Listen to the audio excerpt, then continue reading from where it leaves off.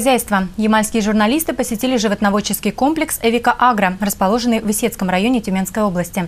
Он построен в рамках партнерского соглашения между Фондом развития Ямала и правительством Тюменской области.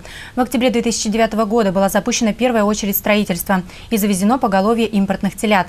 О буднях тюменских животноводов расскажет Наталья Худяева.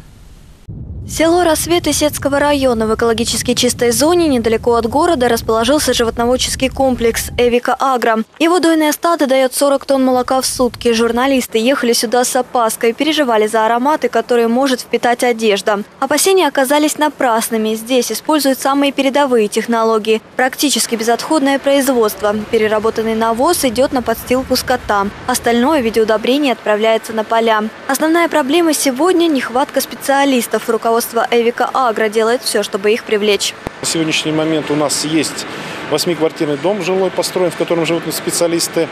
Мы в этом году заложили два коттеджа, значит, э, по 160 квадратов э, на семью. Это четыре семьи, спаренные коттеджи. Тем самым как бы, ну, делаем привлекательным наше предприятие для специалистов. Комплекс построен с нуля. Стоимость объекта в первой очереди превысила 1 миллиард рублей. Возможным это стало благодаря совместному инвестиционному проекту Фонда развития Ямала и правительства Тюменской области. Сейчас идет строительство второй очереди. После его завершения животноводческий комплекс заработает на полную производственную мощь. Отмечу, сегодня натуральный продукт – молоко доступно лишь губкинским школьникам. На сегодняшний день еженедельно э, э, забирает молзавод э, Губкинский под программой «Молоко детям» наше молоко. То есть 100 тонн а, нашего молока уходит, э, будем так говорить, Здесь что не буренка, то иностранка. Коровы завезены из Словакии, быки из Канады. Зерновые и кормовые культуры для них выращивают на местном поле. Площадью в 6 тысяч гектаров. Дойка и питание строго по графику. Практически армейский режим с санаторными условиями. А, у него, наверное,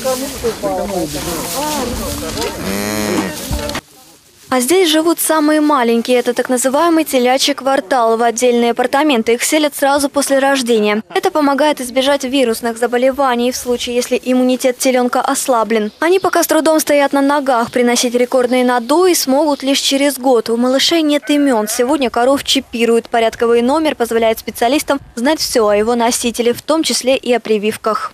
У нас разработана схема вакцинации. Мы там разрабатывали совместно с научно-исследовательским институтом Новосибирским. Э, они нам помогали ее разработать.